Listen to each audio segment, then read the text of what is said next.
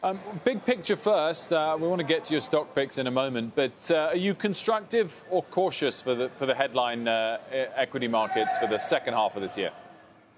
I think they'll be up, and the reason being, although the market's expensive at 23 times earnings on the S&P, um, the rates are so low. The 10 years around 142 the Fed's going to be totally accommodative. As I wrote you in my synopsis, the punch bowl is still there, and I don't think the Fed's going to raise rates for a while because they want to keep you know keep the United States government in the game. So I'm mildly bullish, even though I think valuations are stretched at this point. What about uh, what about Fed tightening when it comes? Will that be a problem, or, or are you just not expecting it anytime soon? It's not going to happen soon. But it's interesting. I looked at the time of the Lehman debacle in April 2007. The Fed balance sheet was 870 billion. As we speak today, it's 8.1 trillion. I mean, it's getting out of hand. And of course, the federal the accumulated federal debt's over $28 trillion, selling at over 1.3 times nominal GDP. It's the highest index we've ever had since the end of World War II. So there's a lot of cautionary winds down the pike. But in the short term, I think the Fed's going to keep, you know, keep its quantitative easing essentially. So that's yeah. why people are rot- they're rotating back into the large cap stocks. It's interesting as you look at the last quarter. Um, the 1,000 growth and the Nasdaq were up over 11% respectively. And you look at the small and mid cap indices like the Russell 2000 2500, they're four and a half, five percent. They've been left in the dust.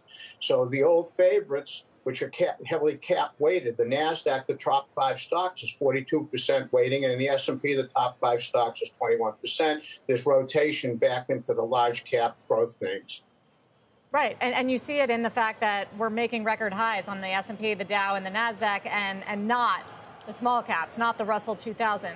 So, so what of the value trade, Scott? Is that is that over? If you think the Fed is just going to be in the game for a long time and it's back to growth? Well, well, we try not to do that. We've had a very good year. We're up between 24 and 25 percent, and we don't veer from our strategy. I've been in business 41 years. Value will out. So what I try to do, as you know, Sarah, is to buy companies with high returns on equity that have growing earnings, but it's still at low multiples. We're not going to pay a 23 multiple. So if you're interested, I got a couple of picks for you today. Yeah, give us uh, give us the first one. Insteel. They're always ones in we never hear about and are very unsexy.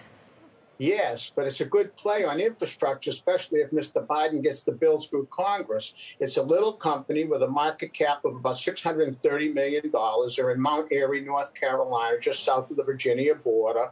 And they're the largest United States manufacturer of steel wire. And that goes into all sorts of concrete. So basically, 36% of it is concrete strand and the other is welded wire. So it goes into mundane things like bridges, water and sewage treatment, highways, roads, etc. It's, a, it's a basically a pure play. They have the highest gross margins they've had since 2016. The gross margin in the last quarter was over 20%, which is a recovery high. And the stock right now is approximately $32 a share. There's a little over $3 a share in cash. There's absolutely no debt and I think they're going to make around 270 this year. So it puts the multiple at roughly 10.8 times earnings, and you have nice acceleration. I figure for the next six months, because they have a fiscal year in September, they'll do about $1.50 to about 75 cents a quarter. So I don't think you have a lot of risk with a debt-free balance sheet selling at a 10.8 multiple. Stock shooting higher as, as you make your case, Scott. It's up 4%. It was down 1% before you, you pitched it.